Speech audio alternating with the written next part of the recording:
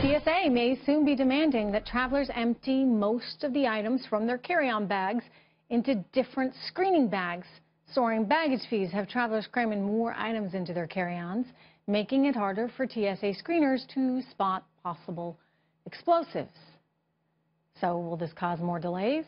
Well, we all want to be safe, right? Our own Jeff Flock is at O'Hare Airport in Chicago with the details. Hey, Jeff. TSA, uh, Trish says no, it will not cause more delays. But when you look at some of the ideas that they have and that they're testing right now in terms of uh, targeting items, I don't know how it could not slow down the lines, at least at the outset. Take a look at some of these things.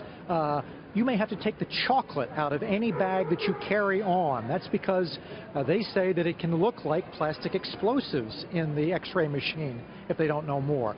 Books may have to come out of all of your carry-ons uh, because the books are thick and they can't really see through them very well. Uh, anything that is smaller, or I should say larger, than your, your cell phone, that would be iPads or uh, tablets, as well as all food may have to come out. Uh, and for those of us that travel a lot, you know, a lot of things are crammed into the bag. Uh, this is now being tested at multiple airports around the country. They did a test, uh, Wall Street Journal was told, at one airport where they made everybody take all the, the paper out of their bags. That didn't go well, so they've sort of abandoned that idea. But now they're testing at 10 airports around the country. Uh, so if you are at any of these airports, uh, Boston Logan, LAX, Detroit, and some uh, medium-sized airports, you may be subject to these new rules. Here's, I'll leave you with one positive, Trish.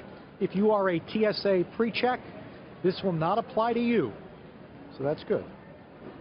All the more reason to try and get that pre-check thing. All right, Jeff Flock, thank you so much. I got it.